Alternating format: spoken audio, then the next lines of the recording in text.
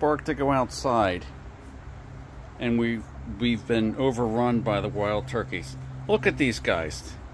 These guys get a pass. These guys get a pass. Look at these. These big birds. No, nothing. Alright, that's your buddies.